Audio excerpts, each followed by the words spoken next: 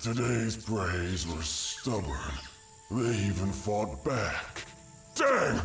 I lost my mask in the chase. Those wounds. Shall I heal you? Did you see my face? Uh, what are you doing? Healing you. Because Jason is bleeding quite a lot right now. Is hugging necessary for healing? Yeah. He doesn't like it. I. I can heal you faster this way. So, hold on. Uh, okay, got it.